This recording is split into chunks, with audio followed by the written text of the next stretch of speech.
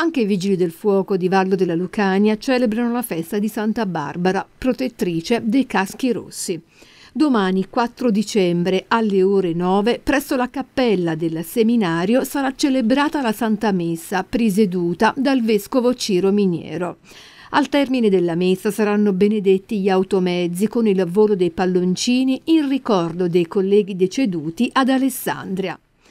Alle 10.30 presso la caserma ci saranno delle esercitazioni a circuito ludico per gli alunni delle scuole. Questa festa di Santa Barbara arriva a pochi giorni da un altro importante incontro. A Vallo della Lucania avete avuto modo di confrontarvi con il Presidente del Consiglio Conte, tante le difficoltà che riscontrate ogni giorno. Ecco, l'occasione di Vallo della visita del Premier è stato un momento in più per ricordare al governo centrale quelle che sono le vostre emergenze.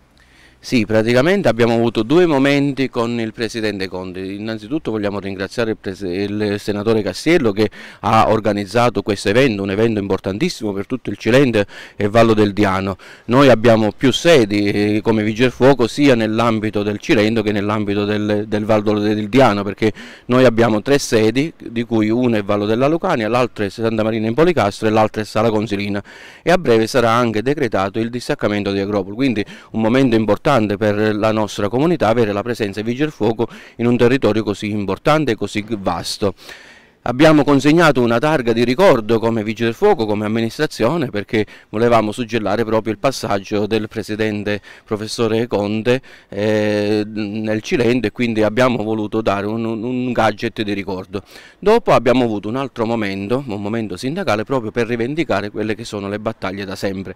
Eh, praticamente eh, noi abbiamo eh, constatato con il Presidente stesso che le somme a disposizione per quanto riguarda la legge, la legge di bilancio sono esigue. Lui lo ha riconosciuto, però purtroppo per il primo anno sono solamente 25 milioni di euro eh, messi a disposizione per i vigili del fuoco che andranno poi nel, nel tempo a incrementarsi, però al, al, momento attuale eh, queste sono le somme disponibili per aumentare quelle che sono l'indennità dei vigili fuoco perché eh, abbiamo degli stipendi eh, rispetto ad altre forze di polizia che non, non corrispondono diciamo, alle, alle, esigenze poi reali.